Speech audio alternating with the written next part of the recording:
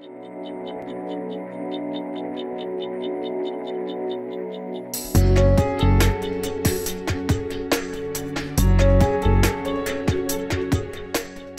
Ian Bowie, Materials Manager at Veolia's Ellesmere Port High Temperature Hazardous Waste Incineration Plant.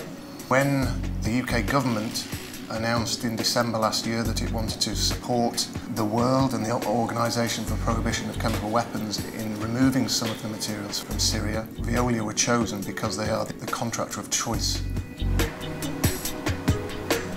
Well, this plant is Veolia's only high temperature hazardous waste incineration plant in the UK and it's one of the best plants of its kind in Europe, if not the world. It offers a complete destruction process for all organic materials and has an excellent health and safety and environmental performance record. This has been a very much international effort. There are um, other companies involved, but also Veolia's sister plant at Port Arthur in Texas are playing a major part. They are taking some more precursor materials for destruction in Texas.